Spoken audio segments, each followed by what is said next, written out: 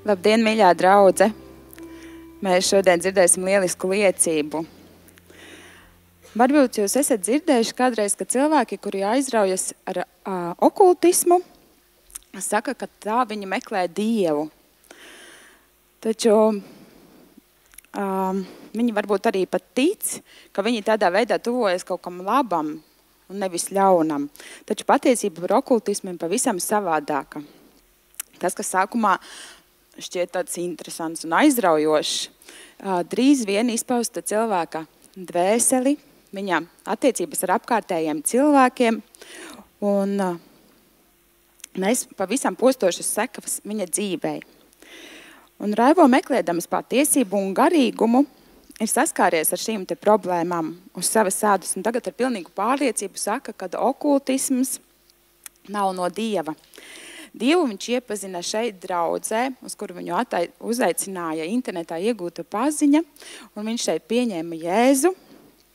Un tagad viņš saka, ka kopā ar Jēzu gan viņa dzīve ir mainījusies, un viņš arī ticis brīvs ir no visām sekām, kas bija iegūtas saistībā ar šo okultismu. Un aicināsim priekšā pašu Raivo.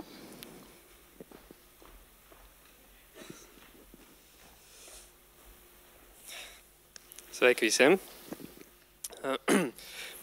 Pirmo reizi, es, kad pēc inkautera šeit biju, es stāstīju par to, ko es piedzīvoju tieši inkauterā, bet tagad ir bišķiņ savādāk, man ir jāpastāsta sīkāk mazliet, jo ir īstenībā es atskārtu nesen, ka, ja es nākamā nedēļa šeit liecinātu, tas būtu precīzi gads, kad es šeit esmu.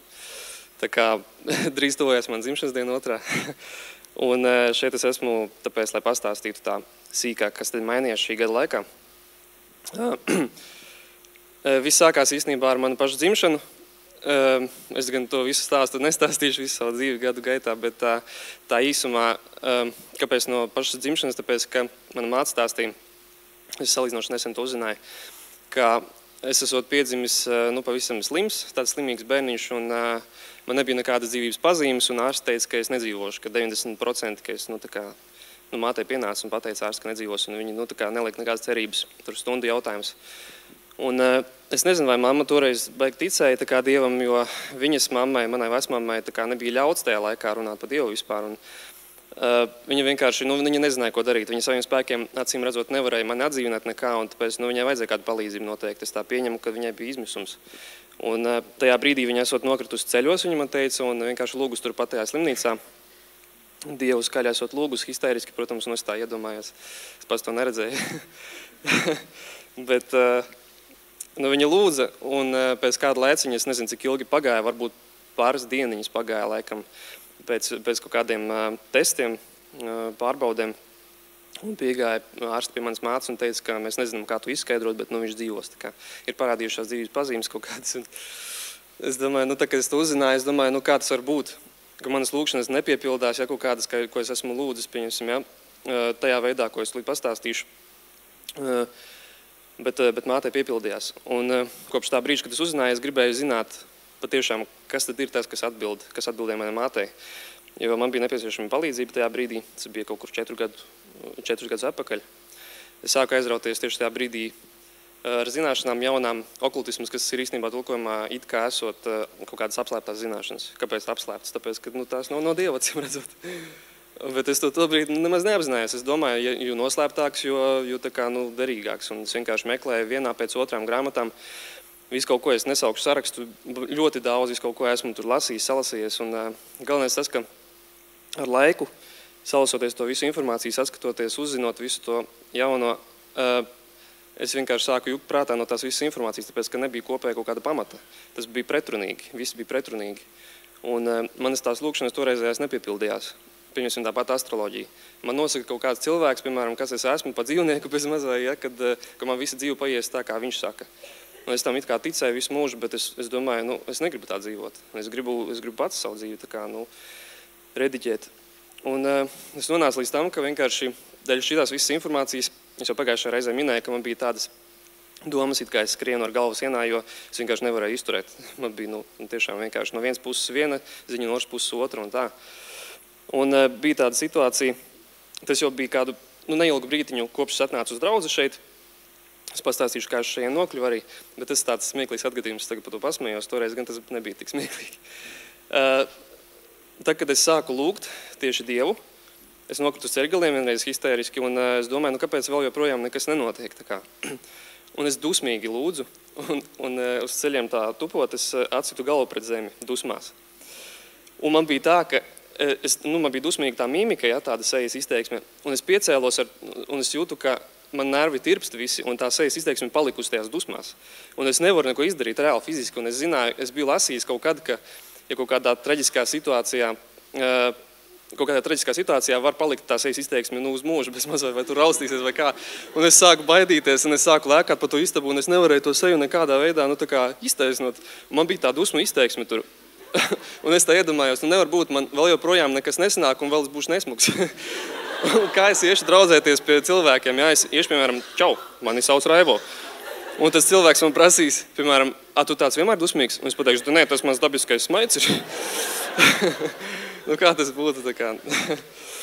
un, eh, no tā brīža es kā, sāku cīnīties ar tām dusmām, kaut kādām nepareizām. Es sapratu, ka tas nav pareizi.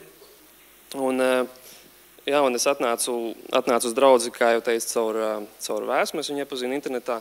Viņi man uzaicināja. Tas bija netālu no manas toreizējās dzīvesvietas. Atnācu, izmēģināju.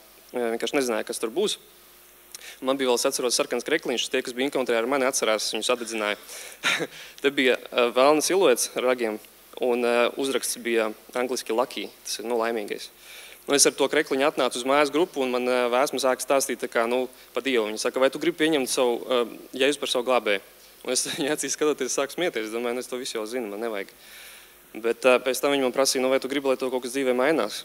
Un es padomāju, ja es atgriezīšos atpakaļ, es zinu, ka es savu kaut ko izdarīšu. Man bija pašnāvības domas, tādas diezgan, diezgan tādā stiprā, augstā pakāpē. Un es pieņēmu, turpat uz vietas, es lūdzu to lūgšanu, bet tajā brīdī es neapzinājos īstenībā. Es neapzinājos, kam es lūdzu. Un tas ir viens svarīgs faktors, ko es gribu pateikt. Es sāku pieņemt to, ko esmu man teicis, ko Sandija man centās, kā, nu, palīdz, palīdzot, centās iestāstīt, ka tas ir pareizi. Ja es pieņemsim, eju uz dievkalpojumu katru reizi, nekavēju mājas grupiņas un tā tālāk. Un es braucu ar velospēdu un vairākas reizes kritu, netiekot uz tām, uz tām grupiņām laikā. Un, nu, visādi bija. Un man, un man negāja nekas, nu, tā kā viss krīt no rokām. Bet tajā brīdī, tikai un vienīgi tajā brīdī, kad es savā sirdī apzinājos, ko es lūdzu, tas pagāja kāds laiciņš. Tikai no tā brīža man reāli atvērās vārti visām svētībām, ko es biju lūdzis iepriekš. Jebkad. Tas man liek domāt, ka tā kā ir Bībelē ir rakstīts, nevienu labi darbu jūs nevar izglābt, tikai un vienīgi Jēzus Kristus. Un es vienkārši apzinoties to, ka viņš ir mans lielais brālis, kā, es to tā iedomājos, ja viņš ir Dieva dēls un es esmu Dieva dēls, es domāju, nu, viņš ir mans kā lielais brālis un man tas tā aizkustināja. Es domāju, nu, man ir kāds, kas skatās uz mani visu laiku. Un, un no tā brīža, reāli no tā brīža man arī viss atvērās. Un, eh, tad, kad es atnācu pirmo reizi šeit uz dievkalpojumu, es dzirdēju mācītāju eh, svētrunu un es domāju, kāds var būt, viņš runāja par manu dzīvi. Neviens nezina par mani reāli. Es pirmo reizi biju tur stūrītī stāvēju, vēl, vēl stāstīju pagājušajā reizē un runā par manu dzīvi. Un es nācu šejienu tā kā, tā kā izslāpušies tuksnesī reāli pēc ūdens. Es nācu, turpināju nākt un vēl joprojām man tas baro. Un eh, par to es pateicos mācītājiem. Eh, kārtām vispār eh, par to, kā Dievs manā dzīvē ir pagodinājies, tas ir vispār brīnumais stāsts godīgi. Tas ir jāpiedzīvo katram, un es tiešām gribētu, lai katrs viens, katrs viens aizdomājas par to, jo šeit, ko es piedzīvoju, es atradu visus šos draugus. pa lielam es esmu atradis draugus, es vairs neesmu vientuļš, man nav nekādas domas par pašnāvību. Es, man nav prātā sajukums, man ir skaidrs prāts, es redzu skaidri, man ir kaut kāda mērķa, man ir vīzija. Kas man sākumā pašā nebija, es negribēju, tā kā neiedomājos par mājas grupiņu savu, bet tagad kopš tā brīža, tas bija pagājušā gada beigas, tā izteikti, kad es apzinājos, ko es, nu kā ka Jēzus ir mans tāds lielais brālis. Es uh, vienkārši nu, sapratu, ka es pats gribu palīdzēt, jo tas bija tāds brīnumais piedzīvojums. Un, uh, es esmu pieņēmis lēmumu, ka šogad es uh, obligāti atvēršu savu mājas grupiņu, un tas būs visai drīz. Man dzīve mainās, un viss ir uz pozitīvo pusi, un rezultāts paliekošs. Manas lūkšanas tiek atbildētas nemitīgi, visu laiku, pastāvīgi. Un, uh, tas ir tikai un vienīgi pateicoties Dievam. Tikai un vienīgi. Es zinu, ka mūs kāds visus vada, un tas ir vienīgais Dievs. Tas vienīgais. Un, uh, tas, tas neko no jums neprasa reāli. Un, es tiešām novēlu katram vienam piedzīvot tādu, tādu piedzīvojumu, kā arī man, un vēl labāk, vēl spilgtāk. Un, jā, nāciet uz dievkalpojumiem, iepazīstiet Dievu un lasiet Bībeli. To es jums visiem varu ieteikt. Visiem tiem, kas skatās otru pusi ekrānam, es ceru, ka arī, es ceru, ka arī jūs kaut kādā veidā uzrunāja manu liecību, jo tas viss ir patiesība un es jums to stāstu. Kaut kā tā. Paldies jums visiem liels!